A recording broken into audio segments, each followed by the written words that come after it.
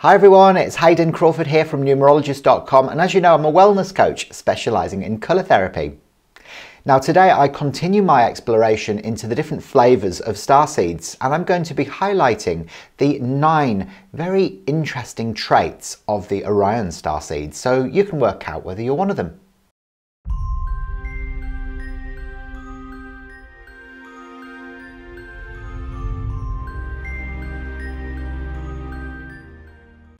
Okay, so since the beginning of time, Orion has always been considered to be one of the most significant and important constellations within our heavens. Its name dates right back to ancient Greek mythology, but it's also associated with an Egyptian pharaoh from the 5th dynasty by the name of Unas. So Orion in legend is also associated with a hunter who, although he was bragging that he was the slayer of all wild animals, was actually taken out in the end by the mere bite of a scorpion.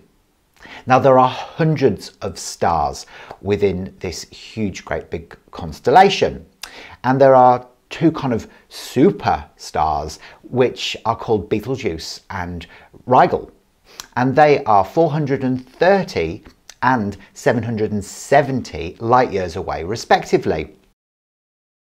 Orion is the place where masculine and feminine consciousness integrate together. But in order for that integration to be successful, both of them have to be experienced in their extreme form. The feminine, being more emotional and spiritual, would very much sacrifice her true purpose for the betterment of the whole, whereas the masculine would feel like individuality was the key and that that would dominate.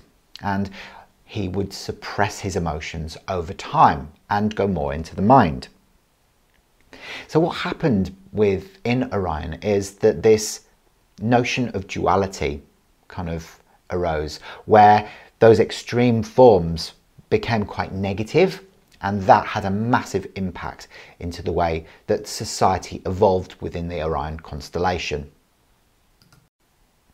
The more advanced societies use technology to be able to control other beings on a mental, emotional, and even spiritual level which was quite concerning really because they got to the point where they could actually even control the etheric bodies of the recently deceased and so that they could have a massive effect on social memory consciousness. Now over time this got progressively worse and a lot of Orions wanted to leave the incarnation cycle of the Orion system and the Orion group and so they really were desperate to get out of it, but they couldn't because of the amount of control that the Orion Empire had over them. Some found portals of interdimensional travel, which offered a small handful the opportunity to escape from the Orion group.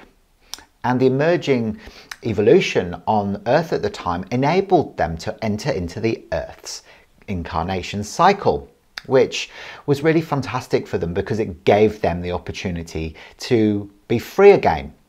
However, buried deep within the depths of their subconscious mind was all of this tragedy and trauma that they had experienced during their time in the Orion group. Okay, so remember that many of the Orions are human, but they're not restricted to this. There is another negative reptoid race as well, which governs six planets within the system, the main one being Bellatrix, which is like their home base. But also they have control over a neighbouring civilization called the Greys. Now the Greys live on a planet called Zeta Reticuli and the Orion star seeds have such an important part to play on the evolution on planet Earth. Now, they are here to inspire people, the world, and also to align with the universe. And many of the Orion star seeds have spent other lifetimes either within the Pleiades or Andromeda or other star systems. So, what are the top 10 traits of the Orion star seeds? Well, number one is they are compassionate activists. Now, Orion star seeds care about the planet and all living beings on the planet as well. They understand that peace is everybody's birthright and will go above and beyond the call of duty to be able to present this message to the world. Number two is that they are inspiring entrepreneurs. Now, Orion starseeds are not motivated at all by monetary gains, but they do spend wisely for the betterment of humanity. So they're real philanthropists, really. Now, they also understand that you know, it's important to be able to be a guide and hold a vision for the new golden age. And they, they kind of inspire and lead um, by that example because they want people to kind of hold the same vision. Number three is that they are logical and task focused. Now, Orion star seeds understand the mind better than most. They're very logical and rational in their way of thinking, and they prefer not to delve too deeply into the realms of the emotions, as they're not excellent feelers, they're thinkers.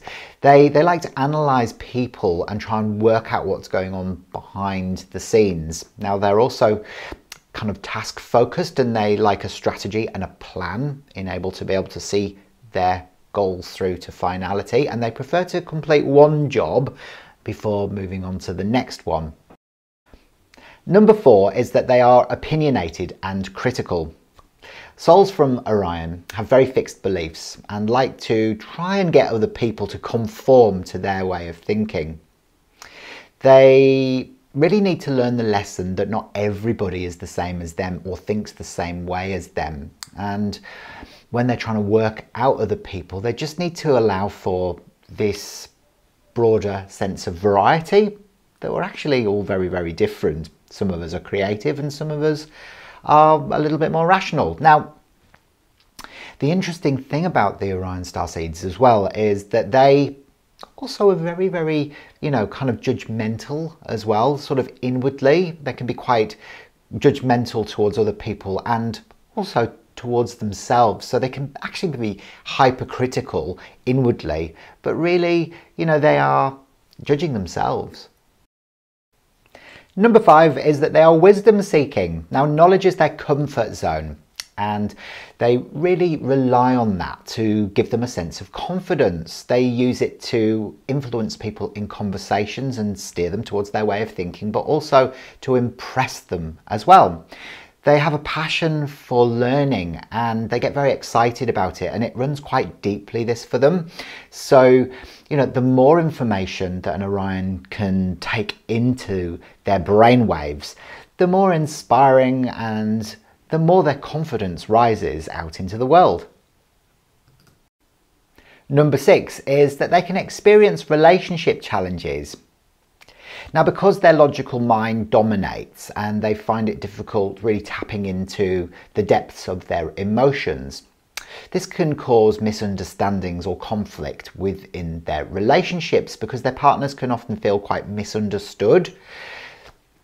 Now, it's it's not that they don't want to understand their emotions because they do, but they're so caught up in their old patterns of logical thinking that they just can't find their way to experience those, which is usually quite frustrating for them, but they also understand that deep emotions can also create very unpredictable behaviors, and that's something that they are a little bit dubious to be around.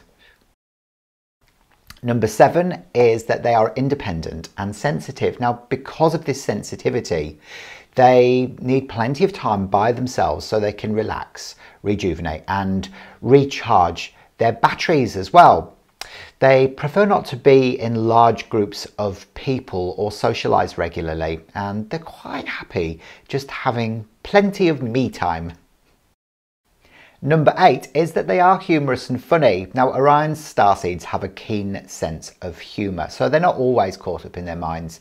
Making a crowd laugh is a real skill for them, and they are really good at being able to kind of bring light into dark situations and look at the idiosyncrasies of life and break them down into really interesting, quippy, quirky remarks that will bring the belliest of laughs to the most square people. And finally, number nine is that they have vivid blue eyes. So the Orion star seeds are renowned for their almost iridescent, sparkly blue eyes that are really quite hypnotic. Now, it's said that the spiritual emergence of the priests actually gained this feature as they became more spiritually enlightened. But don't be fooled. The Orion star seeds can also have olivey skin and they can have dark hair as well. So there are lots of different variations. So what about you? Do you feel like you are an Orion star seed? Is, is that your soul origin? Why don't you leave a few comments below just to let me know if you think that you've come from the Orion group. And I'll see you next time. Bye for now.